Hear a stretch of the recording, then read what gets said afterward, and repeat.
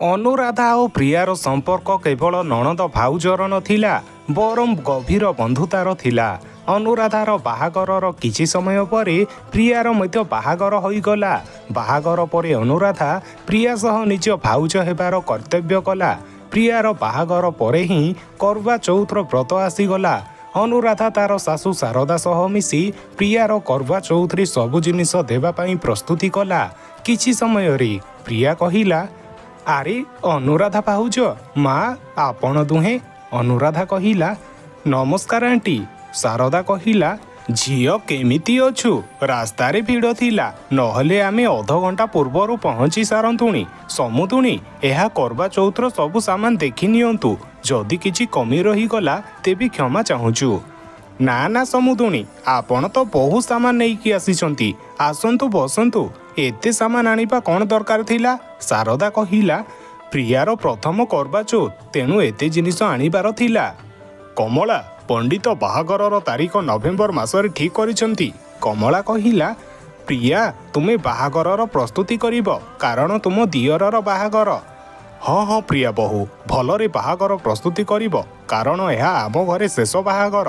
ଶାରଦା କହିଲା ମୋ ଝିଅ କେତେ ଭାଗ୍ୟଶାଳୀ। ଆପଣଙ୍କ ପରି ଶାଶୁ ଶ୍ୱଶୁର ଅମୂଲ୍ୟ ପରି ସ୍ୱାମୀ ଓ ସନ୍ଦୀପ ପରି ଦିଅର ମିଳିଛି। ଅନୁରାଧା କହିଲା ଆଣ୍ଟି ଆପଣଙ୍କୁ ଆଉ ପ୍ରିୟାକୁ ଯାହା ସପିଂ କରିବାର ଅଛି ମୋତେ କହିବେ। ମୁଁ ମୋ ବାହାଘରରେ ଯେଉଁଠୁ କପଡ଼ା କିଣିଥିଲି ନା ସେଠାରେ ଭଲ ଦାମରେ ଦିଅନ୍ତି। ପ୍ରିୟା କହିଲା ଭାଉଜ ମୁଁ ଲେହେଙ୍ଗା ସେଇଠୁ ନେବି ଯେଉଁଠୁ ଆପଣ ନେଇଥିଲେ। ଆପଣଙ୍କ ବ୍ରାଇଡଲ ଲେହେଙ୍ଗା ବହୁତ ସୁନ୍ଦର ଥିଲା। ଅନୁରାଧା କହିଲା ଠିକ୍ ଅଛି ପ୍ରିୟା ଯେବେ ଯିବ ମୋତେ କହିବ।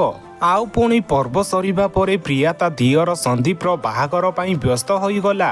ପ୍ରିୟା ଓ ତାର ଶାଶୁ ଯେବେ ବି ସପିଂ ପାଇଁ ଯାଆନ୍ତି ଅନୁରାଧାକୁ ଡକେଇଥାନ୍ତି। ଅନୁରାଧା ସପିଂରେ ସାହାଯ୍ୟ କରେ। ଏପରି ବାହାଘର ଦିନ ଆସିଗଲା। ବାହାଘର ପାଇଁ ଅନୁରାଧା ତାର ବ୍ରାଇଡଲ ଲେହେଙ୍ଗା ପିନ୍ଧିବାକୁ ଯାଉଥିଲା। କାହିଁକି ନା ସେ ଜାଣିଥିଲା ଆଗକୁ ସେ ପିନ୍ଧିପାରିବନି।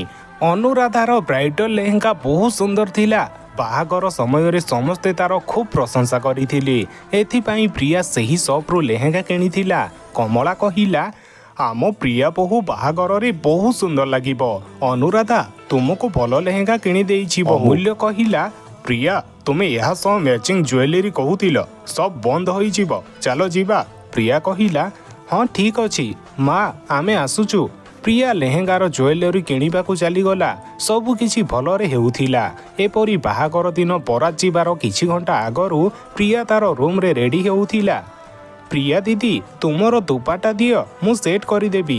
ପ୍ରିୟା କହିଲା ଆରେ ସେ ସାମ୍ନାରେ ଥିବ ଥାଳିରେ ଦେଖ। ଏଥିରେ ତ ନାହିଁ ମୁଁ ଦେଖିସାରିଛି ପ୍ରିୟା କହିଲା ଥାଳିରେ ନାହିଁ ଦେଖ ଏଇଠି ଥିବ ମୁଁ ଲେହେଙ୍ଗା କାଢ଼ିଥିଲି। ତେବେ ପ୍ରିୟାର କିଛି ମନେ ପଡ଼ିଲା ଆଉ ସେ କାନ୍ଦି ପକାଇଲା ଓ ଗଡ୍ ସେଦିନ ଜୁଏଲେରୀ ଆଣିବାକୁ ଦୁପାଟା ନେଇଯାଇଥିଲି। ସେଇଠି ବୋଧହୁଏ ରହିଗଲା। ପୁଣି ପ୍ରିୟା ଅମୂଲ୍ୟକୁ କହିଲା ଅମୂଲ୍ୟ ଜୁଏଲେରୀ ସପ୍କୁ ଫୋନ୍ କଲା। ଭାଇ ଆମ ଦୋକାନକୁ ବହୁତ ଗ୍ରାହକ ଆସନ୍ତି କିନ୍ତୁ ଆମର ମନେ ରହେ ନାହିଁ। ଆମ ଚାକରକୁ କହିଥିଲି ସାଇତିକି ରଖିଦିଏ। କାହାର ହୋଇଥିବ ସେ ଆସି ନେଇଯିବ। କିନ୍ତୁ କେହି ନେବାକୁ ଆସିଲେ ନାହିଁ। ବର୍ତ୍ତମାନ ମୁଁ ସହର ବାହାରେ ଅଛି। ଆଉ ଦୋକାନ ଚାବି ମଧ୍ୟ ମୋ ପାଖରେ ଅଛି। ବର୍ତ୍ତମାନ ମୁଁ ଦୁଇ ଦିନ ପରେ ଯିବି। କାରଣ ଆମ ସମ୍ପର୍କୀୟର ବାହାଘର ଅଛି। ପ୍ରିୟା କାନ୍ଦିବାକୁ ଲାଗିଲା। କାରଣ ତାର ଦୁପାଟା ଏବେ ମିଳିପାରିବ ନାହିଁ। ପ୍ରିୟା ପାଖରେ ବହୁତ କମ୍ ସମୟ ଥିଲା। ଏବଂ ନୂଆ ଲେହେଙ୍ଗା କିଣିବା ସମ୍ଭବ ନଥିଲା। କିଛି ସମୟରେ ଅନୁରାଧା ଆସିଗଲା। ଅନୁରାଧା ନିଜର ବ୍ରାଇଡଲ ଲେହେଙ୍ଗା ପିନ୍ଧିଥିଲା। ତାକୁ ସବୁ କଥା ଜଣାପଡ଼ିଲା। ପୁଣି ଅନୁରାଧା ଆକାଶକୁ ଫୋନ୍ କରି ଗୋଟିଏ ଶାଢ଼ୀ ମଗେଇଲା। ପ୍ରିୟା କହିଲା ଭାଉଜ ଏତେ ଲୋକଙ୍କ ଆଗରେ ଲେହେଙ୍ଗା ନ ପିନ୍ଧିଲେ ଲୋକେ କହିବେ ବରର ଭାଉଜ ହୋଇ ନର୍ମାଲ ଶାଢ଼ୀ ପିନ୍ଧିଛି। ଆଉ ମୋ ଲେହେଙ୍ଗା ବି ଟ୍ରାଏଲ୍ ପାଇଁ ଦେଇଦେଇଛି।